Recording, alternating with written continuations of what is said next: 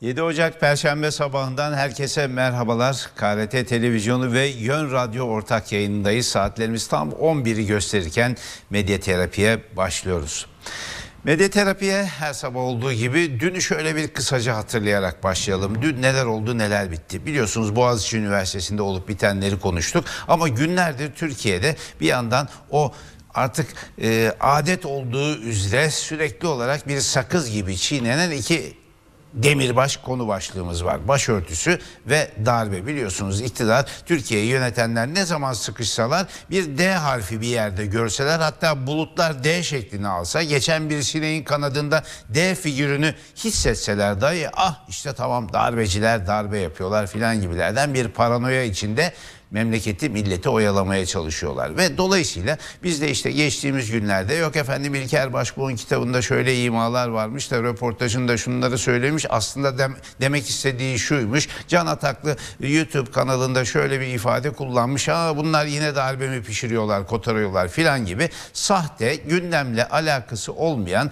gerçekle alakası olmayan konu başlıkları ortaya atıp onun üzerinde tepinerek memleketi idare ediyor gibi görünmeye çalışıyorlar. Dolayısıyla biz de mecburen işte o e, gündem başlığının peşinde koşup darbe darbe darbe diye tartışıyoruz. Bak şimdi de üç kere Zafer Arapgirli darbe dedi acaba ne ima etmek istiyor diye bir takım aklı evvel mercimek beyinler çıkıp böyle bir şeyler e, yakıştırabilirler. Ama Aniden ne oldu? Biz burada darbeyi konuşurken Amerika Birleşik Devletleri'nde akşam saatlerinde adeta bir darbe görüntüsü ortaya çıktı. Hatırlayacaksınız dün akşam KRT akşam haberlerinde bir bölümünde sizlere izletmiştik canlı yayında Donald Trump bir protesto mitingi tertip etti. Taraftarlarına hani amiyane tabirle biraz gaz vermeye çalıştı. İşte senatoda iki sandalye için seçim yapılırken yani senatoda bazı boş bulunan koltuklar için seçim yapılırken orada e, olaylara e, yol açacak bir işaret fişeğini ateşledi. Ve sonradan gördük ki aslında daha önceden de bunun olabileceğinden kaygı duyuluyordu. Gördük ki Trump taraftarları e, senatoya yürüdüler. Capitol Hill denilen o Washington DC'de başkentte işte e, kongre binasına yürüdüler ve orayı ele geçirmeye çalıştılar. Şimdi ilk görüntüler gelmeye başladığında dünya televizyonlarına işte Amerika Birleşik Devletleri'nden herkes aynı şeyi söylemeye başladı. Hani hatırlarsınız işte bilmem turuncu devrim, bilmem ne devrim, yeşil devrim, kırmızı devrim, mor devrim filan diye dünyanın pek çok yerlerinde böyle halk hareketleriyle parlamentoların ele geçirildiği, parlamento koridorlarında polisle askerle çatışılan, silahların patladığı, genel kurulu salonuna dalındığı, kürsünün üzerinde tepinildiği, işte sandalye şeylerin koltukların üzerinde insanların birbiriyle dövüştüğü manzaralar. İşte bir dönem e, demokrasi gelişmemiş bazı Kafkasya ülkelerinden, Balkan ülkelerinden, Orta Avrupa ülkelerinden filan gele- gelen görüntülere e, tanık olduk. Bazı işte Güney Amerika ülkelerinden ve e, gerçekten ciddi bir e, infial hali oluştu. Amerika Birleşik Devletleri'nde saatlerce kongre çevrelendi. Tabii pek çok e, soru işareti de var. İşte kongre bu kadar mı kötü korunuyor? Bu adamlar oraya kadar gelirken, işgal girişiminde bulunurken Amerika'nın askeri polisi yok mu? O kongre binası bu kadar mı kötü e, korunmakta? Nasıl girebil, gil- girebildiler oraya? Mesela Nancy Pelosi'nin e, odasına kadar girmişler orada işte başkanın odasına kadar. Dolayısıyla e, böyle kaotik manzaralar yaşandı. O kaotik manzaralar sırasında öğreniyoruz ki dört kişi de e, hayatını kaybetmiş yani güvenlik kuvvetleri de müdahale e, ederken vesaire. E, dolayısıyla Amerika Birleşik Devletleri bir darbe e, senaryosuyla çalkalandı. Acaba Trump gitmemek için böyle bir iç çatışma mı e, çıkartıyor ve e, bu şekilde mi koltuğunu korumaya çalışıyor şeklinde sorular soruldu ve sorulmakta. Nitekim o görüntülerden birkaç saat sonra Trump'a yoğun çağrılar geldi. Hatta Joe Biden da televizyonlara çıkıp bir konuşma yaptı. Donald Trump bir an önce bu taraftarlarını oradan çekmelidir ve meseleyi yatıştırmalıdır diye Trump bir çağrı yaptı. Saatlerce devam etti yine eylemler ve o, o kongre binasının çevresindeki kuşatma. Neticede insanlar oradan çekildiler ama pek çok kentte öncelikle de Washington DC olmak üzere başkent olmak üzere pek çok kentte sokağa çıkma yasakları ilan edildi ve şimdi ne olacağı tartışılıyor. Bütün bunlar yapılırken kongrede de seçim yapılmıştı zaten. Senatoda da düzeltiyorum. Senatoda da işte o iki sandalyede demokratların eline geçince demokratlar bir anda hem temsilciler meclisinde hem de senatoda çoğunluğu ele geçirdiler. Daha doğrusu e, iş yapmaya yetecek çoğunluğu ele e, geçirdiler diyelim. Dolayısıyla Trump dönemi ciddi bir şekilde geride kalmış oldu. Bundan sonra ne olacağı konusunda da tabii dün geceden bu yana büyük e, tartışmalar yaşanıyor. Aslında dünyaya şok dalgaları şeklinde yayıldı. Trump belki de işte kargaşaya, iç savaşa neden olmaktan dolayı hakkında e, soruşturma açılabilir. Hatta yargılanabilir ve hatta görev süresi resmen 20 Ocak'ta doluyor devir teslim yapılacak. Ondan evvel bile belki azledilmesine yol açabilecek bir süreç başlatılır diye e, manzaralar var. Tabi bir yandan da Türkiye'de ve dünyada nasıl izlendiğini de e, ibretle gördük. Çünkü Türkiye'de seçim öncesinde Amerikan seçimi öncesinde Kasım ayındaki seçim öncesinde biliyorsunuz iktidar yandaşları genellikle Trump'a destek verdiler ve Biden'ı destekleyenlere ya da Biden seçilsin gibi bir e, dilekte bulunanlara vay siz Biden'cı mısınız diye sanki suçmuş gibi yani Türkiye'de kimsenin Biden'cı ya da Trump'çı olması söz konusu olabil, olamaz ama e, iktidar yandaşları AKP yandaşları diyelim e, Trump'ı yoğun bir şekilde desteklediler. Şimdi dün akşamki manzara karşısında tabii müthiş bir bocalama yaşıyorlar. İlerleyen dakikalarda sizlerle yine o bocalama görüntülerini paylaşacağız. Yani Twitter'da sosyal e, alemde enteresan şeyler paylaşıldı. Ama neticede dün akşam Türkiye'deki darbe olasılıklarını bırakıp Amerika'da sokaklardaki darbe e, çağrıştıran e, görüntüleri izlemek zorunda kaldık. Bir yandan da dediğimiz gibi e, dün Boğaziçi Üniversitesi'nde olup bitenleri yakından izledik. Boğaziçi Üniversiteliler, öğrenciler ve öğretim üyeleri direnmekten geri durmadılar. Dün de o direnişi yükselttiler. Beşiktaş ve Sarıyer ilçelerinde bir gösteri ve toplantı yasağı getirildi valilik tarafından ama onlar karşıya geçtiler. Kadıköy Meydanı'nda büyük mini miting yaptılar. Pek çok demokratik kitle örgütü ve demokrasiye sahip çıkanlar Boğaziçi'ndeki e, rezalete e, tepki koyanlar onlara destek verdiler ve e, akşam saatlerine kadar devam etti. Bu arada gözaltılar da devam etti. Bazı öğrencilerin evlerine yine baskınlar düzenlendi. Gözaltına alınan öğrencilerin listesinin kabardığı belirtiliyor. Orada da anladığım kadarıyla yani polisin ve İçişleri Bakanlığı'nın uyguladığı e, yöntem şu, şunu yapmaya çalışıyorlar. Manzara o. Mümkün olduğu kadar okul öğrencisi değil de dışarıdan insanları gözaltına alarak şöyle bir imaj, şöyle bir algı yaratmaya çalışıyorlar. Boğaziçi'li öğrenciler barışçıl bir protestoyu okulun bahçesinde çimenlerin üzerinde sürdürüyorlar ama esas dışarıdan onlara yasa dışı örgütler e, destek olmaya çalışarak olayı büyütmeye çalışıyorlar. Aslında Boğaziçi öğrenciler e, Melih Bulu ile rektörle anlaşırlar bir şekilde. Bak zaten bahçede de ne güzel sohbet ettiler filan. Aslında güzel bir sohbet filan etmediler. Melih Bulu böyle şirinlikler yapmaya çalıştı. Ya çocuklar işte alkışlıyorum size evet protesto hakkınız var filan ama öğrenciler ısrarla hayır hocam gözaltına alınan arkadaşlarımız bırakılsın, polis okuldan çıkarılsın ve siz de lütfen istifa edin ve seçim yapılmasını sağlayın diye bu haksız, bu hukuksuz, bu teamüllere, bu demokrasiye aykırı yöntemi reddedin çağrısında bulundular. Dolayısıyla olay öyle kapanmış, sünmüş filan değil. Olayı başka bir muhtevaya dönüştürme çabaları var. Eminim Boğaziçi'li öğrenciler de bu direnişten, bu demokrasi ısrarından vazgeçmeyeceklerdir. Onu da bir şekilde belirtmek ve hatırlatmak lazım. Saatlerimiz 11.09'u gösteriyor. Gündemi kısaca böyle hatırlattıktan sonra gelin gazetelerin birinci sayfalarına bakmaya başlayalım. Cumhuriyet gazetesi gerilim ittifakı diye manşet atmış. Zayıfladıkça baskı ve şiddeti artıran iktidar ve ortağı demokratik itirazını kullanan öğrenciler için başları ezilmeli diyor. Darbe tartışmalarını ısrarla büyütmek istiyor. Gündemi gayet güzel toparlamış Cumhuriyet Gazetesi bu üst başlıkta. Diyor ki kayyım e, rektör atamalarına karşı çıkan üniversite öğrencilerinin eylemleri sürerken dün şafak vakti uzun namlulu silahlarla evlerine baskın düzenlenen 14 öğrenci daha gözaltına alındı. Boğaziçi Üniversitesi'nin rektörlük binası önünde eylem yapan öğrenciler kendilerine el sallayan Melih Bulu'yu yuhaladı ve istifa çağrısını yineledi.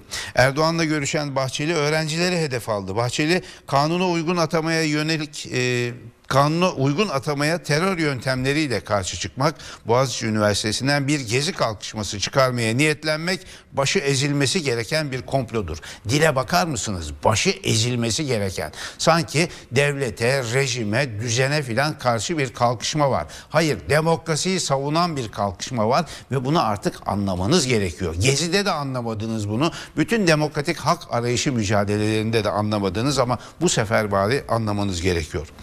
İçişleri Bakanı Soylu da polisin üniversite kapısına kelepçe takmasını savunurken terörle irtibatlı gruplara izin mi verilseydi dedi. Terörle irtibatlı gruplar umacısı yaratarak bu meseleyi sanki haksız bir meseleymiş gibi ya da haksız bir direnişmiş gibi şeytanlaştırmaya çalışmak hiç kimseye yarar vermez. Şimdi yarar sağlamaz. Şimdi İçişleri Bakanı Süleyman Soylu'nun dünkü o açıklamasını akşam KRT haberlerinde de e, ekrana e, getirmiştik sizler için. Ama o açıklamada şöyle bir sakıncalı üslup var. Daha önceki başka açıklamalarda olduğu gibi polisimin arkasındayım, polisimin yanındayım. Şimdi e, şöyle bir imaj uyandırmaya çalışıyor Türkiye'yi yönetenler.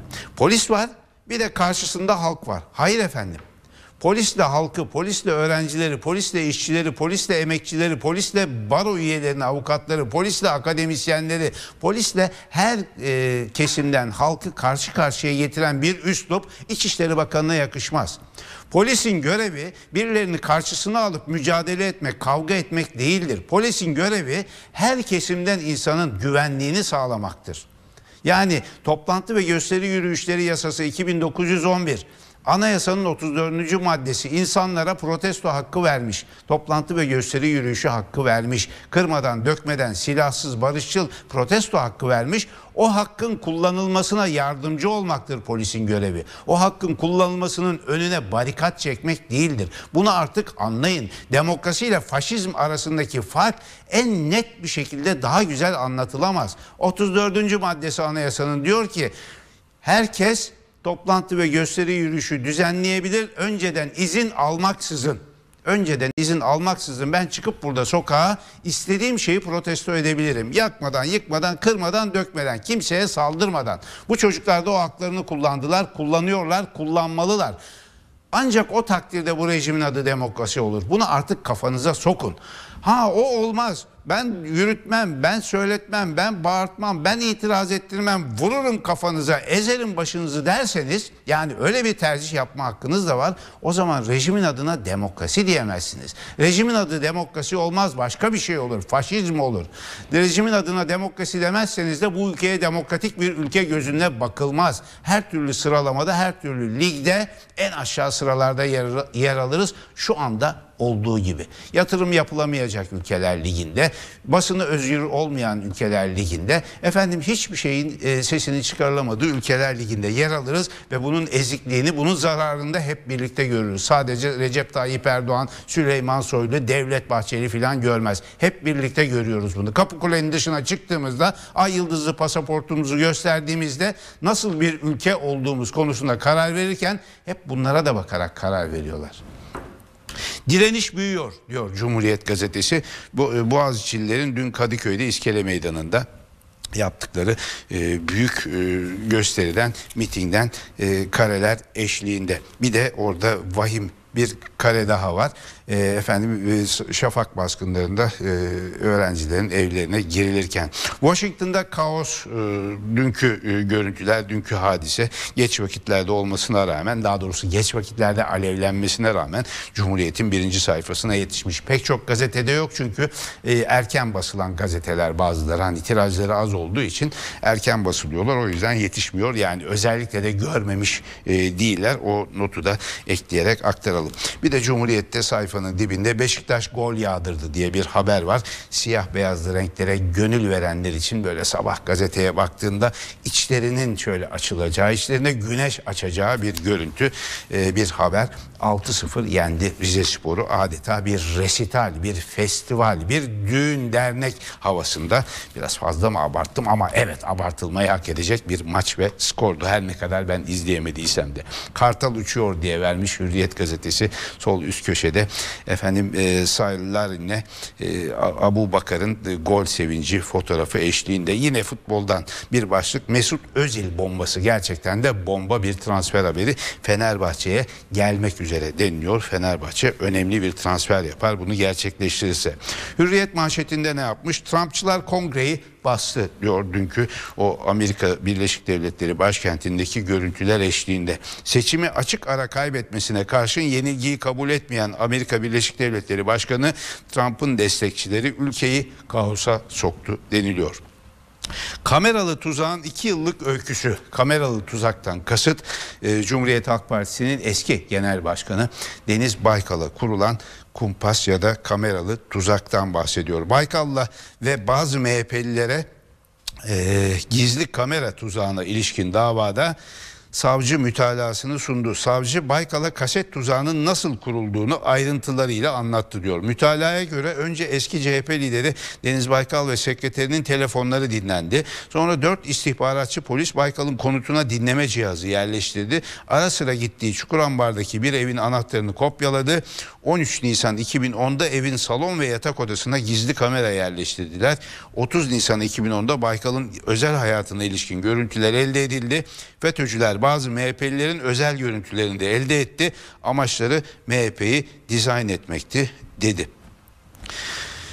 Ee, Hürriyet'in Baykal haberi de böyle Boğaz içinde sıkı önlem diye biraz kenardan görmüşler. Yani olayları fazla e, büyütmeden vermişler. Arnavutluk liderine seçim esprisi. Enteresan bir haber. Bakın Arnavutluk Başbakanı Edi Rama ile görüşüyor Cumhurbaşkanı Sayın Erdoğan ve Arnavutluk'ta Türkiye 150 odalı bir hastane inşa ediyor.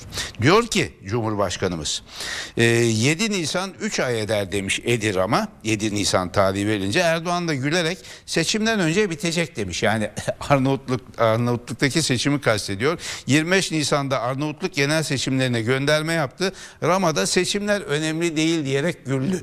Yani Arnavutluk Başbakanı kibarlık ediyor. Diyor ki ya aman Sayın Cumhurbaşkanı seçim meçim şeyi e, muhabbeti yapmayın. Hani biz bunu seçim yatırımı gibi yapıyoruz gözükür ayıp olur diyor. Erdoğan ona rağmen üzerine gidiyor diyor ki merak etme biz ben diyor seçime yetiştiririm bunu. Sana da diyor seçim şeyi olur diyor. ikramı yatırımı olur diyor. Ya dış politikada böylesine bizi mahcup duruma düşürücü gaflar yapmasak keşke ya. Yani başka bir ülkenin seçim çalışmalarına başka bir lidere merak etme biz oraya hastaneye hemen yetiştiririz sana da seçimde kıyak olur demeye getirmek nasıl bir e, diplomasi e, zekasıdır. Bunu nasıl yaptırırlar bilmiyorum. Hani danışmanlar filan niye müdahale etmezler böyle şeylere. O da tabii benim sıkıntım değil ama dışarıya karşı mahcup olma e, gerekçesidir bu. 15 Temmuz'dan 5 yıl sonra uyandı diye tanıdık bir sima eski FETÖ'cülerden. Eski FETÖ'cü diyorum ama FETÖ'cünün eskisi yenisi olmaz. O iblisler kendilerini bilirler. Onların içindeki o irin hiçbir zaman gitmez. Bakın Ahmet Duran Alkan isimli Zaman Gazetesi eski yazarlarından söz ediyorum. Cumhuriyet düşmanı insanlardan birinden söz ediyoruz. Özür dilemiş efendim. FETÖ'nün terör örgütü olduğunu 15 Temmuz'dan sonra anladım demiş. O güne kadar hiç uyanmamış olaya. 40 senedir bağırıyoruz. Diyoruz ki sizler bir melun örgütsünüz. Sizler Türkiye Cumhuriyeti'nin temellerine dinamit koymak isteyen bir bölücü, yıkıcı, melun, cumhuriyet düşmanı, demokrasi düşmanı, insanlık düşmanı örgütsünüz diye bas bas bağırıyoruz. Bize o günlerden beri hatta hala terörist hain muamelesi yapıyorsunuz. Adamcağız kim bu? İşte Ahmet Duran Alkan ya evet 15 Temmuz gecesi neler yaptılar ya ben şimdi uyandım bunlar terörist örgütmüş diye adeta bizlerle alay eder gibi çıkmış şimdi özür dilemiş. Bir de kimden özür diliyor? Cumhurbaşkanından Bahçeli'den özür diliyor. Kalbimin yarısı Silivri'de kaldı diyor. 3 3 e, yıl önce hapisten çıkmış. Şimdi bunlar e, normal sıradan insan gibi dolaşacak. Ondan sonra sen ben darbeci, terörist, vatan haini bilmem neci filan olacağız. Yok öyle ya ama. Sizden nereye gitseniz peşinizden geleceğiz. Sizden nereye gitseniz oraya kadar kovalayacağız. Cumhuriyet düşmanlığınızı suratlarınıza haykıracağız. Bütün FETÖ'cülere ve onların yardakçılarına, onların yancılarına, onlarla kol kola giren koalisyon ortaklarına sesleniyorum. Kaçmak yok. Bu FETÖ'cü hainler hiçbir zaman öyle kuru özürlerle filan kurtulamazlar. Sözcü gazetesi bana PKK'lı diyecek adam değil İçişleri Bakanı feriştahı olsun daha anasının karnından doğmadı demiş. İçişleri Bakanı işte Süleyman Soylu'ya e, bir cevap veriyor Yılmaz Özdil e, sözcünün yazarı. İşte o sınır karakolunda yer sofrası meselesini eleştirmişti ya Yılmaz Özdil onun üzerinden galiba bir işte hain ya da PKK'lı imasında bulunmuş. İktidarın gündemi e, ekonomik kriz, işsizlik ve geçim derdini göz ardı ediyorlar. İktidarın gündemi aslında işte İlker Başbuğ, Fikri Sağlar, Can Ataklı ne dedi ne demedi meselesi. Bir de vatandaşın gündemini e, almış aşağıya. E, sanıyorum bu Saadet Partisi'nin hazırladığı videodan bir takım görüntüler işte e, çarşı pazarın ne hale geldiğini, pahalılığın ne hale geldiğini vurguluyor. E, Sözcü gazetesi de işte gece geç saatlerde Amerika karıştı diye e, yetiştirmiş o e, haberi. Ben de ekranda gazete varken elimde tutup okuyorum. İşte eski alışkanlıklar bunlar. Bir gün gazetesi ülkenin umudu geleceği burada diyor. Boğaziçi'li öğrencilerin dün Kadıköy Meydanı'nda yaptığı mitingden bir görüntü eşliğinde. Evrensel Gazetesi Boğaziçi bizim diye manşet atmış. Kayyum rektöre Boğaziçi öğrencilerinden yanıt.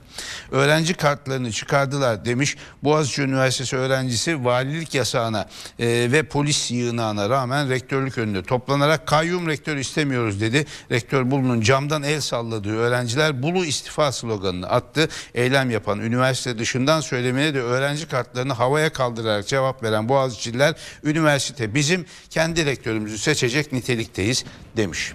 Karar gazetesi gerilim paketi diye manşet atmış. 83 milyon ekonomideki sorunların çözülmesi, dış politikadaki belirsizliklerin giderilmesi için adım atılmasını beklerken birdenbire gündemi işgal eden tartışmalar siyasetin dilini daha da sertleştirdi. Reform yılı olacağı açıklanan 2021 gerilim atmosferiyle başladı deniliyor.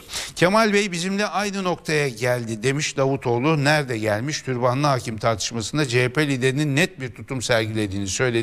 İktidardakilerin Sayın Kılıçdaroğlu'nu takdir etmeleri gerekirdi. Bugün özgürlükler noktasında bizimle aynı noktaya geldi diyor. Ben Kemal Bey'in yerinde olsam bu sözlerden epey rahatsız olurdum. Bakar mısınız? AKP zihniyetinin kurucusu, mimarı, kalfası, ustası durumundaki insanlardan biri diyor ki aha diyor Kemal Bey AKP çizgisine geldi diyor. Ben başka bir şey söylemeyeceğim. Dünya Gazetesi Deniz İpek yolundaki kriz Türkiye'ye yaradı demiş manşette. Avrupa'ya e, taşımalarda Çin'le Türkiye arasındaki navlun farkı 10 katı aştı. Teslimat süresi ve fiyatta avantaj yakalayan Türkiye tedarikte öne çıkıyor denilmiş. Yeni Çağ gazetesi Atina Tel Aviv hattında derin askeri işbirliğinden söz ediyor manşetinde. Bir de ünlem işaretini çakmışlar ki daha güçlü bir mana versin diye. Türkiye ile Doğu Akdeniz'de enerji ve Kıbrıs konusunda anlaşmazlık içinde olan Yunanistan İsrail ile yeni askeri savunma anlaşması yaptı deniliyor. Yeni Çağ'da sağ üst köşede Kartal gol olduğu yağdı demiş. Bir de Mesut Özil'in transferini sanki bitmiş gibi e, veriyorlar. Mesut Özil Fenerbahçe'de diye tam tamamlanmamış ama e, o şekilde aktarmışlar. Sabah gazetesi rüzgarımı devlet kurtardı diyen bir başlığa yer vermiş. SMA'lı bir çocuğun nasıl devletin yardımıyla Cumhurbaşkanının müjdesiyle ilaca erken kavuştuğu için hayata tutunduğunu söylüyor. Allah uzun ömür versin o çocuğa ailesine de geçmiş olsun ailece ama böyle propaganda malzemesi de yapılmaması lazım bu çocukların. İşte devlet kurtardı filan diye kafasına mı kakıyorsunuz insanların? Devletin vazifesi anayasada, anayasada belirtilmiş vazife. Devlet bütün vatandaşlarını 83 milyonu kadın erkek çoluk çocuk yaşlı genç demeden korumak ve sağlıklarına ilgilenmek ve hatta parasız ilgilenmek zorunda. Devlet kurtardı diyor. Aferin ya devletin başka işi gücü varmış da sanki lütfen bunu yapmış gibi bir sunuştur bu. Yazıklar olsun böyle sunuşlara. İşte tam tipik yandaş yalaka besleme medya ağzı bunlar. Besleme medya ağzı. Yeni Şafak gazetesi böyle rektör mü istiyorsunuz diyor. Ee, Kemal Alemdaroğlu'nu hatırlatmış e, işte zamanın İstanbul Üniversitesi rektörünü diyor ki CHP e, Boğaziçi Üniversitesi'ne yapılan atamayı bahane edip Cumhurbaşkanı Erdoğan'ın atadığı tüm rektörleri hedef aldı diyor. Geçmişte bir de o hani e, bir meş'um ordu göreve diye bir provokatif pankart var. O fotoğrafları da hatırlatmış. Onun CHP ile filan Kemal Alemdaroğlu ile filan alakası olmadığını 1 milyon 563 bin 782 defa hatırlattık söyledik ama hala o malzemeyi kullanıyorlar. 2-3 tane provokatörün oraya getirip açtığı pankarttır o ordu görevi pankartı. Cumhuriyet Halk Partisi ya da gerçek vatanseverler hiçbir zaman orduyu göreve çağırmamıştır. Öyle bir şey yapmamıştır. Bu alçakça iftiradan hiçbir zaman vazgeçmiyorsunuz. Akşam gazetesi FETÖ'cüye kaçış yok diye bir başlık atmış. FETÖ'cülere değişik yerlerde yapılan operasyonları aktarıyor. Trump'ın inadı ABD'yi karıştırdı diye Türkiye gazetesi manşet yapmış dün akşam olup bitenleri. Milliyet gazetesi çektiklerimi bir bilseler diyen Profesör Bülent Sakan'ın anlatımlarına e, devam ediyor. İşte e, bu Covid e, hadisesi başından geçen. Posta gazetesi ABD'nin utanç günü diye vermiş olup bitenleri birinci sayfasında. Aslında birinci sayfaya hakim olan başka hadiseler var ama o detaylara çok fazla girmeyeceğim. Aydınlık gazetesi ortak düşman altın fırsat diyor. Fırat'ın doğusunda sıkışan terör örgütü Türkiye, Rusya ve Suriye ordusunu aynı anda hedef almaya başlamış ve Yeni Akit gazetesi hastalıklı kafalara 81 ilde suç duyurusu diyor. Hastalıklı kafalardan kastı Sayın Başbu, e, Sayın Ataklı ve Sayın Fikri Sağlar'dan bahsediyor. Bir de azgın azınlık bölücü ve yasakçı sever diye de manşet atmış. CHP ve terör yandaşları başörtüsü yasakçısı ve hendeksever rektörlere alkış tutuyordu üst başlığıyla. Saatler 11.26'yı gösteriyor. Medya terapiye bir ara veriyoruz. Aradan sonra devam edeceğiz.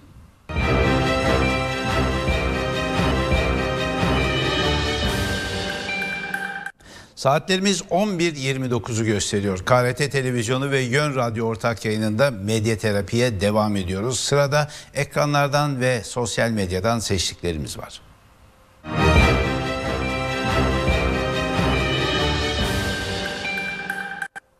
Amerika Birleşik Devletleri'nde dün yaşananlar yani Türkiye saatleri saatiyle dün akşam saatlerinde Amerika saatiyle dün gün içinde yaşananlar bütün dünyaya şok dalgaları yaydı. Yani Amerika Birleşik Devletleri ilk defa bir parlamentonun ele geçirilme girişimiyle yani bir sivil darbe girişimiyle e, bir sokak hareketiyle çalkalandı. Yani sokak hareketlerini daha önce Amerika Birleşik Devletleri çok kez görmüştü işte siyahların protestoları, Black Lives Matter hareketleri vesaire ama ilk kez bizzat Amerika Birleşik Devletleri Başkanı'nın yandaşları parlamentoyu yani yasama organını basmaya çalıştılar. Aslında kısmen de başardılar. Tabii dünyaya şok dalgaları yayıldı dedik. Ül- bütün ülkelerde belki de hani e, o sosyal medyanın ta- tarihinde en çok tweet e, atılan ya da sosyal medyada en çok konuşulan konulardan biri oldu. Türkiye'de tabii bunlardan vareste değildi. Türkiye'den de çok sayıda Twitter mesajıyla olaylara tepki gösterildi. Pek çok esprili mesaj atıldı, pek çok siyasi yorum yapıldı ama Türkiye'de yönetimdekiler de tabii bir tavır almak zorunda hissettiler kendilerini. En üst e, makamlardan da tepkiler geldi. Mesela Türkiye Büyük Millet Meclisi Başkanı Sayın Mustafa Şentop şu tweet'i attı.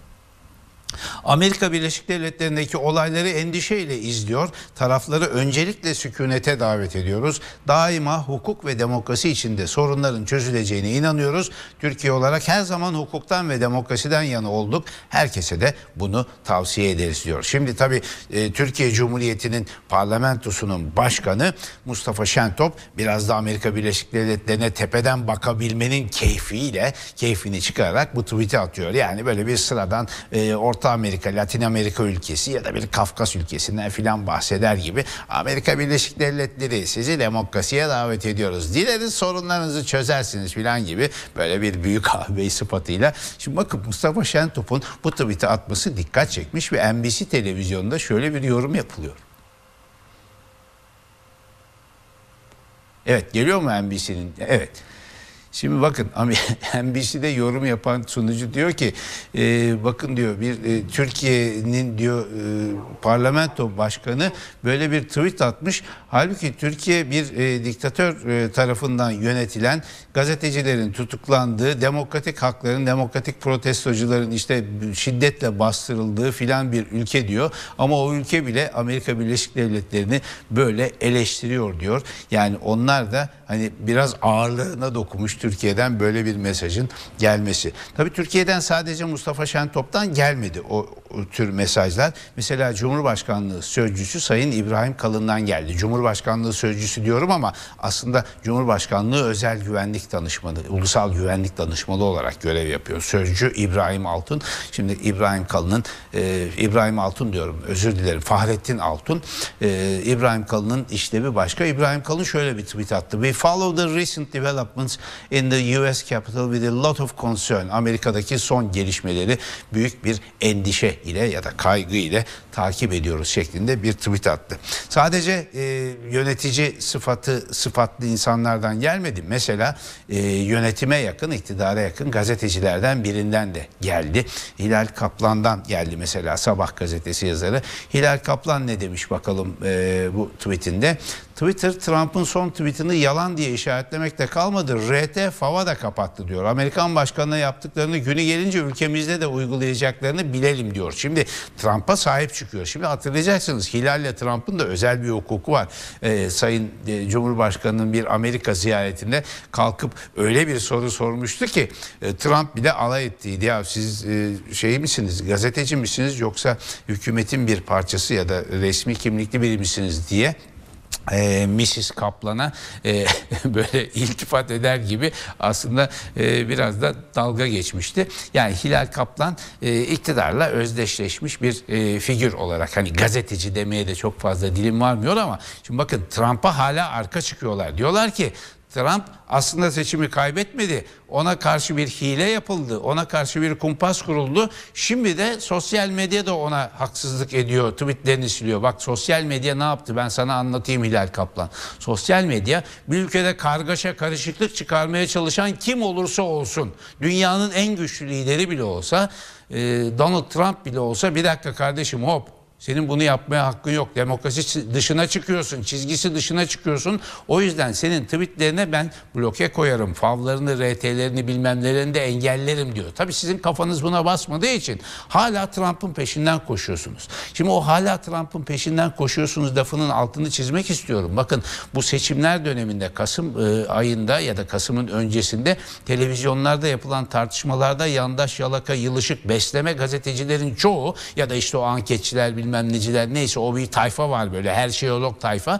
Onlar hepsi böyle yürü be Trump arkandayız gibilerden ona destek verdiler. Hatta karşıda yer alan ya da ne bileyim ya Biden'ın daha iyi bir seçenek olacağını savunan insanları da ne demek sen Biden'a nasıl sahip çıkarsın? Vay seni komünist terörist filan gibilerden tavır aldılar. Ya kimsenin Biden'a filan sahip çıktığı yok. Trump denilen ruh hastası manyağın karşısında yer almak niye teröristlik oluyor? Yani Trump denilen ruh hastasından Amerika'nın kurtulmasını savunan insanlara adeta vatan haini muamelesi yaptılar. Ya size mi düşmüş o? Bak işte gördünüz ne yaptığını. Amerika'da kan dökülmesine yol açtı. Oynamıyorum, saymıyorum, bilmem ne ben kazandım diye hala tepiniyor ve gitmemeye çalışıyor. Hem kendisini hem ülkesini e, güç durumlara sokuyor. Dolayısıyla sahip çıkmayın böyle ruh hastalarına, manyaklarına. Yanlış yoldasınız kardeşim. Hanımefendi size sesleniyorum. Hilal hanımefendi, Mrs. Kaplan. Başka tweetler de atıldı. Mesela Türkiye'nin eski Washington Büyükelçilerinden Sayın Namık Tan'ın da bir uyarısı vardı. Amerika Birleşik Devletleri'ni çok iyi tanıyan bir emekli diplomat. Amerikan demokrasi bu rezaletin hesabını meşru yollardan sormazsa dünyayı görülmemiş bir kaos bekliyor demektir. Ee, Sayın Tan'ın ima ettiği şey Trump ya da o bu işte kargaşanın arkasında her kim varsa mutlaka hesabını vermeli ve yargılanmalıdır. Hakkında soruşturma açılmalıdır diye yaygın çağrılar var dün akşamdan beri. İşte o çağrıların e, çağrılara katılan bir mesajdır bu Namık mesajı. Şimdi o kaotik manzaralar arasında tabi zaman zaman esprilere yol açabilecek e, şeyler de vardı. Mesela Twitter'da Pek çok espri yapıldı bu konuda. Ben de gece boyunca birkaç tweet attım. Mesela dedim ki ya hep filmlerde ya da gerçek hayatta izleriz. Dünyanın herhangi bir yerinde bu tür bir karışıklık çıksa o ülkedeki Amerikalılar hemen Amerikan Büyükelçiliğine sığınırlar. Şimdi acaba Washington'dakiler ne yapacaklar filan diye attığım tweetlerden birinde şu e, geleneksel tarihi giysiler içindeki Amerikalılarla biraz alay etmeye çalıştım. Diriliş George Washington diye bir dizi çekilse herhalde bu kostümler haberlerle ortaya çıkarlar diye. E, baksanıza bu böyle şeyli e, kürklü filan tipler e, işte bilmem kaç yüzyıl öncesinden giysilerle böyle bizon e, boynuzlu filan kostümlerle ortaya çıktılar. Böyle şaklabanlıklara e, kalkıştılar ama tabii işin e, şaka kaldırı çok fazla yanı yok. Ciddi ciddi bir e, şeydir. E, kaotik e, manzaradır. Bir tweetimiz daha var galiba sırada sosyal medyadan seçtiğimiz. O da Boğaziçi Üniversitesi'nde bir öğretim üyesi galiba. Lucas Thorpe isimli bir beyefendi. O da şöyle bir tweet atmış Amerika'daki manzaraları izlerken. I think there were more police at Boğaziçi than at the Capitol Building in Washington diyor. Yani e, Washington'daki kongre binasında Boğaziçi Üniversitesi'ndekinden e, daha az e, ya da tersten okursak Boğaziçi Üniversitesi'nde kongre binasını koruyandan daha çok polis vardı demeye getiriyor. Başta da söylemiştim ya yani bu kadar zayıf bir güvenlikle mi korunuyordu oralar. E, Boğaziçi'li öğretim üyesi de e, buna dikkat çekmiş. Bizim Boğaziçi'ne daha çok polis yığdılar diyor. Süleyman Soylu beyefendi bundan büyük bir gurur duyacaktır herhalde. İşte hakkımızı teslim ediyor Amerikalı diye. Saatimiz 11.38'i gösteriyor. Gelin şimdi köşe yazarlarından seçmelere bakalım.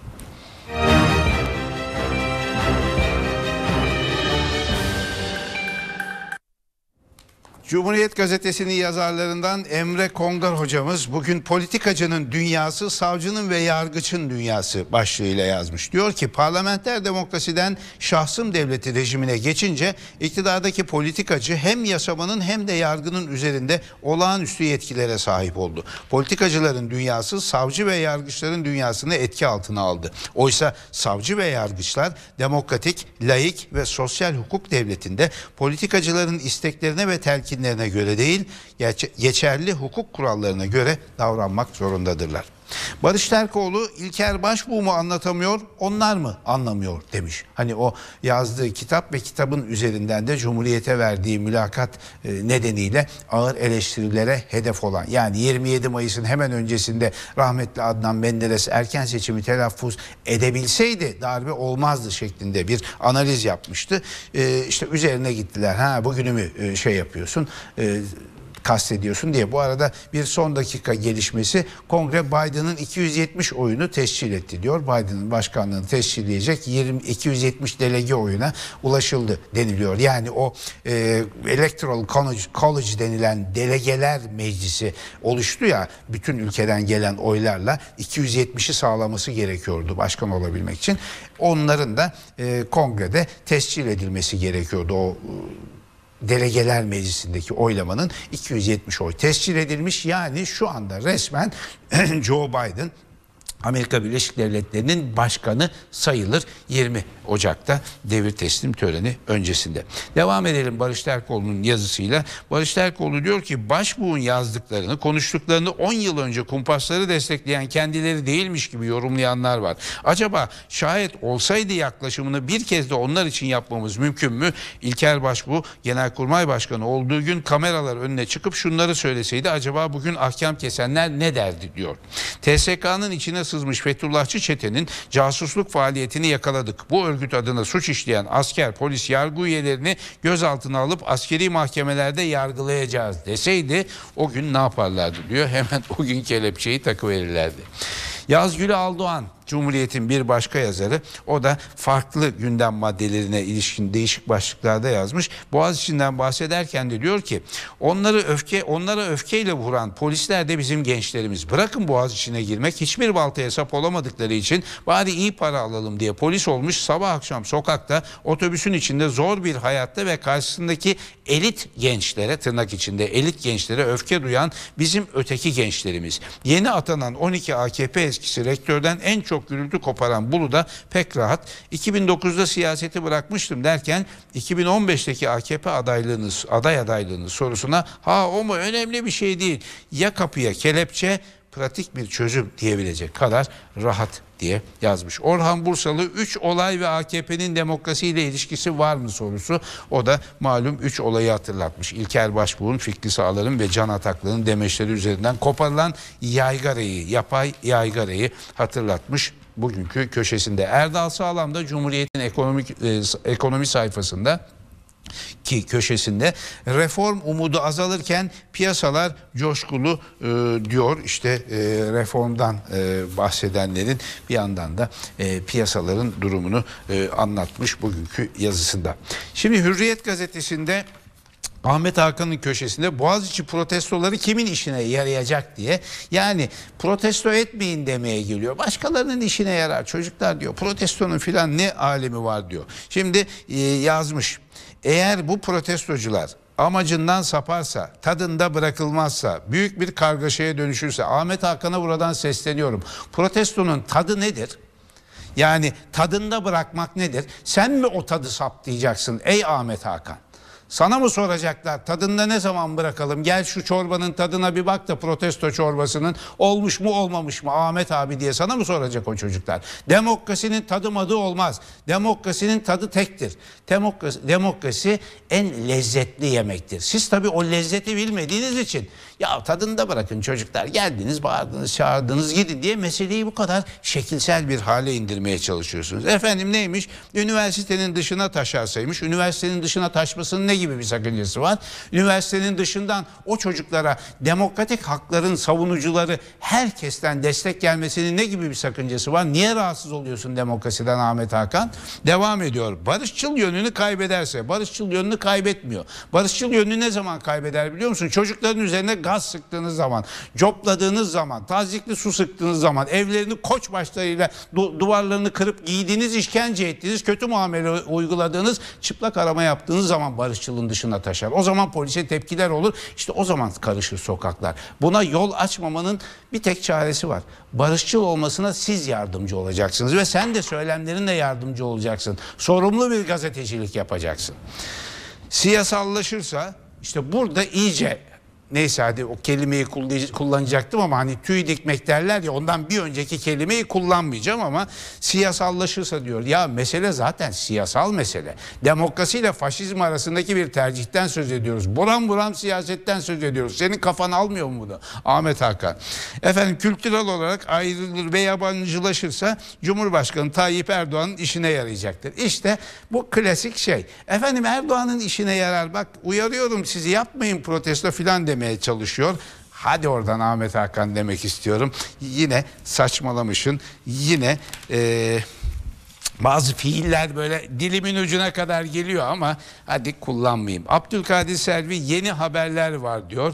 Efendim e, bu Amerika Birleşik Devletleri'nin gündemini, Türkiye'nin gündemini özetlemiş. Bir de reform müjdeleri veriyor. Şu yapılacak, bu yapılacak. İşte seçim sistemiyle ilgili çalışmalardan söz ediyor. Bazı ipuçlarını ima etmiş. Seçim barajı ne olacak diye. Yüzde birlik partiler ne olacak? İttifaka ayrı baraj. Yüzde bir önerisi daraltılmış bölge filan meselelerinde bir takım ipuçları veriyor. Yani bir zihin jimnastiği yapıyor. Lafları ortaya atıyor ya da attırıyorlar ona. Sayın Kılıçdaroğlu böyle bir imada bulunmuştu. Çok kızmıştı Abdülkadir Selvi. Öyle ama kandırmayalım birbirimizi kendimizi de. Yani Abdülkadir Selvi gibilere yazdırıyorlar böyle şeyleri. Sözcü gazetesine geçelim. Sözcü gazetesinde Necati Doğru ne yazmış? Bugün 8 uçaktan bakınca diyor Cumhurbaşkanlığı 8 uçağın e, envanterlerinde olduğunu itiraf etti ya o meselenin üzerinden yazmış Necati Doğru abimiz. Diyor ki 8 uçaklı e, başkanımız var. Haliyle 8 kat iyi olmalıydık. Biz ne yaptık?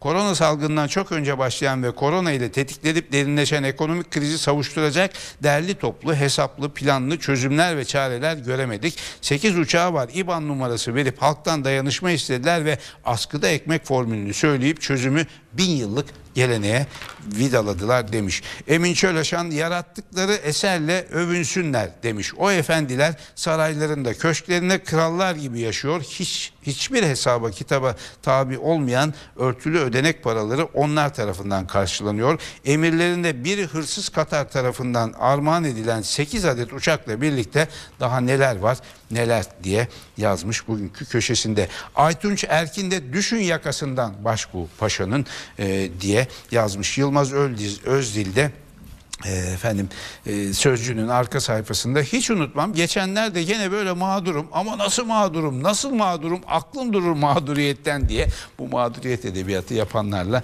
kafa bulmuş inceden inceden ya da gerektiğinde kalından kalından e, kafa bulmuş. Efendim Karar Gazetesi'nin yazarlarına bakalım bir de Karar'da e, Ali Bayramoğlu vandalizm ve Boğaziçi diye bir yazı yazmış. Diyor ki açıktır Boğaziçi'ne üniversite dışından AK Parti'ye yakın çevreden yapılan rektör ataması bir ele geçirme hamlesidir. Yanındaki çocuğun oyuncağını kıskanıp ele geçiremeyince imha eden öfkeli ve haris çocuğun tarzıyla kurumlara gerekirse kilit vurmak kullanılan bir yöntemdir. Şehir Üniversitesi bunun en açık örneklerinden birisiydi. İstenmeyen ellerde olan bu üniversite çökertildi ve kapatıldı diyor.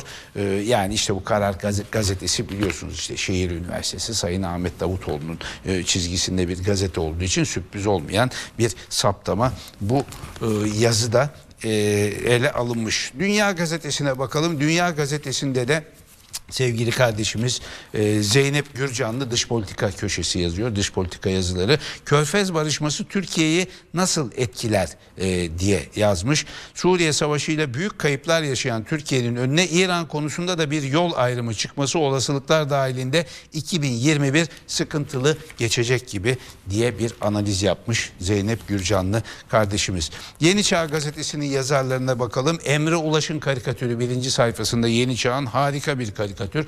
Onu getirebilirsek ekrana. Bu karikatür 19 Ocak 2006'da da yayınlanmıştı diyor. Hatırlatıyor. AKP üniversitelere taktı diye bir başlık atmış. İşte o akademik e, kep ucundan da AKP'nin amblemi ampul sarkıyor şeklinde aslında hani bir resim, bir fotoğraf, bir karikatür bin kelimeye değer derler ya hiçbir şey yazmasa da e, o şeyin üzerine karikatürün üzerine gayet güzel anlatmış olayı Emre Ulaş. Sabah gazetesinin yazarlarına bakalım orada ne cevherler var. Okan Müderisoğlu Sabah'ın ee, Ankara temsilcisi yine o çağrışım mesele rektör ataması değil anlasanıza diye yazmış. İşte o ün, ünlü bir e, Türk yazarı klişesi vardır ya siz anlamıyorsunuz alıklar salaklar ben çözdüm olayı diyor. Anlasanıza filan gibilerden bir yazı yazmış. Erdoğan Bahçeli e, görüşmesini yani Erdoğan'ın Bahçeli ziyaretinin anlamı üzerinde biraz durmuş. Bir de Mehmet Barlas'a bakalım. E, ünlü Türk düşünürü Mehmet Barlas ee, gençlik olayları diye görülen gelişmelerin ertesinde hep otoriter rejim gelmedi mi e, diyor. Yani diyor ki gençler olay molay çıkarmayın bak otoriter rejim gelir diyor. Halbuki şimdi ne güzel demokrasi içinde mutlu, mesut ve bahtiyar yaşıyoruz diye Mehmet abi uyarıyor gençleri. Hadi oradan Mehmet abi diyerek noktalayalım bu sabah. 11.50'yi gösteriyor saatlerimiz. Medyaterapiye burada nokta koyuyoruz. Yarın sabah yine 11'de buradayız ama akşam 18.30'daki KRT akşam haberlerine bekleriz. Mutlu bir gün dileğiyle. Hoşçakalın.